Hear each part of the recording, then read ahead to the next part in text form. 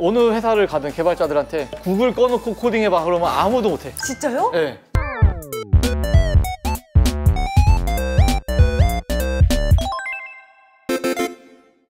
마늘 여러분 안녕하세요. 오늘도 학생으로 들어온 디둑입니다.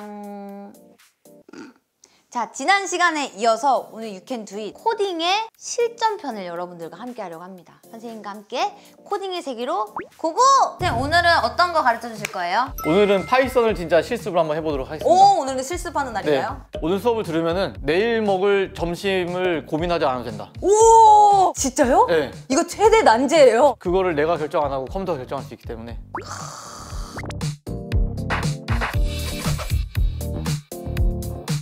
파이썬을 실제로 컴퓨터에 깔려면은 우리 마늘이 사람들 컴퓨터에 따라서 누구는 깔리고 누구는 안 깔리고 막 되게 복잡해요. 그래서 너무도 좋은 세상이 돼가지고 파이썬을 웹에서 실험을 해볼 수가 있어요. 그래서 노트북을 제가 준비했습니다. 제 친구예요. 인사하세요. 아, 안녕하십니까. 네. 마늘이 컴퓨터 여러분. 무슨 소리 하는 거야?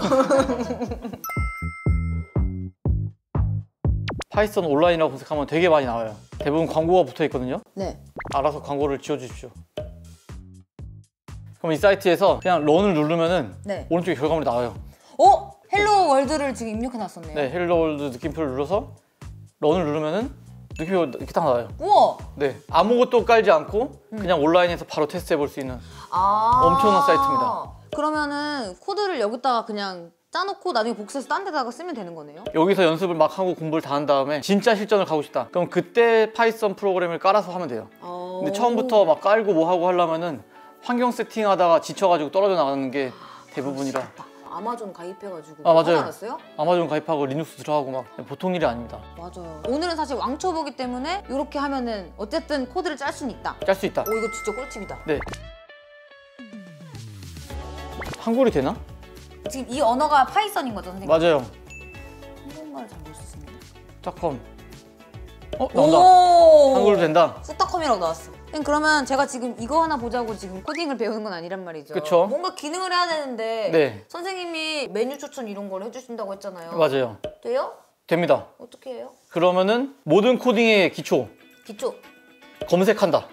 검색한다? 네. 개발자는 대단한 일을 한 사람들이 아니라 네. 구글에서 검색해가지고 네. 내 컴퓨터에다 붙여넣기를 하는. 그래서 내가 이용하는 거에서 이제 네. 변형해서 쓰는 거예요? 그렇죠. 오. 그래서 개발을 처음 배우는 사람들은 마치 영어 배우듯이 내 지식으로 만들려고 온갖 노력을 다 하는데 중국어 배우고 영어 배우고 이런 것처럼 막 단어 배우고 이럴 필요가 전혀 없거든요. 실제로 저도 그렇고 많은 개발자들이 다 알지를 못해요. 그래서 구글을 그냥 항상 켜놓고 음. 구글에서 검색을 하고 그거에 맞는 결과물을 내 컴퓨터에 복사한다. 이런 능력이 사실 코딩의 99%지 이것만 잘 되면 아주 천재적인 개발자가 될 수 있습니다. 네, 진짜로. 응용 능력이 좋아야 돼. 이거 네. 이런 얘기는 어디서 들어본 적이 없는 것 같아. 어느 회사를 가든 개발자들한테 구글 꺼놓고 코딩해봐 그러면 아무도 못해. 진심. 오, 그 개발자분들이 미리 또 짜놓은 거를 서로 서로 서로- 공유하면서 왜냐면은 이 컴퓨터는 다 open source로 커져 나가는 회사라서 오. 내가 만든 것도 사실 저도 그래서 만든 거 다 open source화 시킨 거 되게 많거든요. 오. 왜냐면은 다른 사람도 내 거 베껴서 또 더 나가면 좋으니까. 그럼 거기에 이두희 만듦이라고 뭐 코드에 이렇게 써놓나요? 아니 그냥 그냥 아무나 쓰십시오라고 씁니다. 오, 네. 멋있다. 근데 그건 제가 보시는 게 아니라 이미 컴퓨터 출발이 그렇게 되어 있는 상황이고 우리가 많이 쓰는 카카오톡도 뒤에 보면은 많은 open source 코드 참고한 게 쫙 나오거든요. 그럼 그런 open source가 없었으면은 이런 카카오톡도 없었을 거고 open source가 있었기 때문에 다 여기까지 커 온 상황입니다. 그래서 결론적으로 말하면은 코딩을 한다라고 맘먹으면 한쪽에 구글 켜놓고 내가 뭐 하겠다라고 검색 때리고 그걸 그대로 내 컴퓨터에 복사한다. 내가 의도가 동작하는 걸 확인한다. 와. 근데 처음부터 내가 막 머릿속에 짜내서 이거 이렇게 하는 거지 수업 시간에 뭐 배웠지? 이러는 순간 이 사람은 이제 성장폭이 제한돼 있다. 아. 그래서 이제부터 파이썬 랜덤이라고 검색을 해주십시오. 아 검색을 해서 한다고? 네. 안 치고? 무조건 검색. 음. 뭐라고 써요? 파이썬 랜덤? 한글로? 여기다 왕초보를 위한 파이썬 이런 거예요? 네, 그런 거 이제 치면은 또 코드가 나올 겁니다, 이제. 이거 시키는 대로 하면 이제 끝납니다. 기본적으로 언어를 알아야 이것도 알아볼 수 있겠네. 근데 결론적으로 코드가 어딘지를 설명을 해주기 때문에 어 이거다. 메뉴. 어, 어 이미 있네. 뭐야? 어, 그러니까 이런다니까 우와 이미 있어. 이미 누가 짜놨어. 가서 쓰면 됩니다. 끝. 어쩐지 선생님이 너무 위풍당당 이양양해가지고 나는 왜 이렇게 그대로 나한테 나와? 아니 이런 얘기는 아무도 안 들려줬던 것 같아. 와 그래 사람이 쉽게 쉽게 가야지. 선생님 이거 이거 복사하면 돼요? 뭘 해야 될지는 잘 모르긴 근데 합니다. 그게 중요한 거죠. 이제 검색이 돼서 뭔가 나왔죠. 네, 근데 뭔지 모르는 거. 여기서 나한테 필요한 게 어느 코드고 내 코드에 적용했을 때 잘 동작하고. 아, 그래서 코드를 배우는 거구나. 네, 요거 링킹만 되면은 이제 열심히 퍼다가 남의 열심히 이거 고- 블로그 쓰느라고 얼마나 고생했겠어요 이 사람들. 근데 이분들도 이걸 원해서 한 거겠죠. 네, 그쵸. 쓰라고. 근데 링킹을 하려면은 코드를 볼 수 있는 능력이 있어야 된다. 내가 만약에 익숙치 않으면은 여기 있는 것을 이거 복사해서 넣어보고 저거 복사해서 넣어보고 하면서 시간이 좀 걸리는데 익숙하다 그러면 이제 한눈에 보이죠. 아 이거 복사하고 아. 이거 복사하면 되겠다. 일단 해보면은 임포트 랜덤이라는 걸 하라고 합니다. 네. 그럼 이걸 복사해서 네. 이 뒤에 이거 이 녹색은 지워도 돼요. 붙여넣기. 네. 그리고 잘 됐는지 런을 한번 눌러봐요. 일단 나오죠. 네. 그럼 이제 된 겁니다. 내가 네. 뭘 했는데 정상 도착하네. 문제가 없어요. 오케이. 나오고 있어요. 프린트. 어, 오케이. 그럼 일단 복사 완료. 네. 그리고 한번 랜덤으로 숫자를 찍어보래요. 복사해서 와 이거 진짜 왕초보다 이거. 이거를 붙여넣기 하면은 네. 랜덤을 프린트하는 거예요. 네. 오 네. 런 눌러보면은 랜덤 숫자 나와요. 오. 또런 눌러보면 또 랜덤 숫자 나와요. 네. 이렇게 해서 이제 동작을 합니다. 오케이. 오케이 동작하는 거 봤어요? 어 마음에 들어요. 그러면은 쭉 내려서 요 요 요걸 한번 해봅시다. 메뉴. 쫄면 육개장 비빔밥. 헉, 맛있겠다. 네. 자 지금 임포트에서 랜덤으로 뭔가를 뽑아낼 거다. 아, 그리고 두? 번째 그러면은 제가 좋아하는 메뉴를 좀 바꿔도 될까요? 메뉴는 쫄면 어 바꾸시죠. 바꿀게요. 쫄면 돈가스 어때요? 쫄면 돈가스 뭐 드실래요? 떡볶이? 떡볶이 그리고 얘는 이렇게 이러, 이, 이 구조로 계속 어 이어가는 맞아요. 건가요? 역시 이 구조를 계속 이제 맞아요. 이해하면서 가는 거죠? 맞아요. 이 중에서 랜덤으로 이제 뽑는 거죠. 여기서 이제 네. 랜덤 점 choice 메뉴. 아 메뉴의 란에 들어 있으니까요. 그렇죠.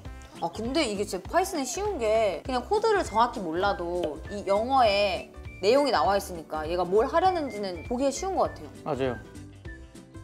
임포트 랜덤 해가지고 메뉴 눌렀고 쫄면, 돈가스, 떡볶이, 피자, 치킨 중에 뭐 먹을지. 자 오늘 이거 드셔야 돼요. 마늘이 분들도 이거 드시는 겁니다. 우리 누릅니다. 돈가스!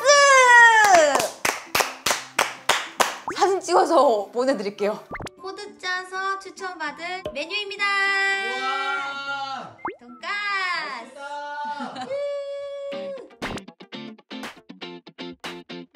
이렇게 해서 이제 결과가 끝났습니다. 오 대박이다 네. 근데 우리가 기본적으로 쓰는 그 어플이나 아니면 사이트 보면은 버튼 예쁜 거 딱 누르면은 그렇죠. 돈가스 막 쫄면 쫄면 그림이랑 우 이렇게 나오잖아요 그러려면은 frontend라는 걸 또 해야 돼요. frontend 이거는 뭐죠? 네. backend요. 그래서 음. 뒤에서 안 보이는 구, 구석에서 열심히 데이터를 만지고 이제 결과물 쫙 주는 게 backend고 네 그거를 이제 이쁘게 쫙 해가지고 사용자가 편리하게 만드는 게 frontend예요. backend 개발자 포함입니다 네. 뭐 frontend 개발자 포함입니다 네. 이런 거 할 때 이제 그 개발자 중에서도 자기가 할 수 있는 역할이 또 따로 있는 거죠 맞아요. backend 개발자들은 보통 꾸미기보다는 데이터를 막 조직화시키거나 그런 숫자들에 흥미를 느끼는 사람. 네 frontend는 이게 약간 사용자 친화적으로 버튼 잘 여기다 놓을지 정리하고. 여기다 놓을지 이게 버튼을 눌렀을 때 페이드 아웃을 몇 초를 주는 게 좀 더 좋은지 이런 거에 좀 흥미가 있는 사람들이 보통 frontend로 가죠. 뭐예요? 저는 둘 다 못합니다. 둘 다 하신다는 얘기네요. 다 못한다고 해 일부러 backend라고 해놓고 내가 뭐 도와달라고 하면 자기 backend라고 하고 나중에 보니까 front도 할 줄 알더라고요. 천하의 제 한다. 복사해서 붙여넣는다는 거를 이때 알았어. 우리 청첩장 만들 때. 아 청첩장 만들 때 마음에 드는 예쁜 tool을 골라가지고 거기다가 사진도 넣고 일자도 넣고 해가지고 모바일 청첩장을 어디다 맡기지 않고 직접 만들었습니다. 도메인을 사가지고 만들면 도메인을 산 기간 동안 내 청첩장이 살아있는 거거든요. 근데 업체에 맡기면은 사실 그 한 달? 뭐 기간이 딱 어. 있어요. 그래서 그게 날라가 버려서 너무 아쉽단 말이에요. 없어져. 소중하게 계속 이 도메인을 이렇게 연장하면서 내 청첩장을 계속해서 이렇게 지키고 싶으시다면은 저희처럼 만들어 보시는 것도 되게 추억이 될 것 같습니다. 보여드립니다. 짜잔! 자, 이게 저희의 모바일 청첩장입니다. 도메인이 잘 살아있으니까 아직까지도 이렇게 재밌게 볼 수 있습니다. 여기 보면은 뭐 글씨체랑 뭐 내용, 뭐 사진, 애니메이션 이런 거 하나하나 다 고른 거거든요. 어, 템플릿이 예쁜 게 많아가지고 슥슥 넘기면서 보여드릴게요. 용 크, 멋있네요. 음 이렇게 이제 내용도 쓰고 사진도 넣고. 그러니까 일반적으로 보는 청첩장이랑 좀 느낌이 달라서 되게 좋았던 것 같아요. 뻔. 야 이렇게 되잖아요. 아, 이렇게 이렇게 하면은 진짜 여러분 코딩 좀만 배우시면은 청첩장 내가 만들 수 있습니다. 해보십시오 여러분. 그럼 오늘은 완전 기초를 알려주셨잖아요. 지금 흥미가 올라왔어요. 그러면 다음 시간에는 이 그냥 뭐 쫄면 이렇게 나오는 거를 네. 진짜 쫄면 그림이 나오게끔 오.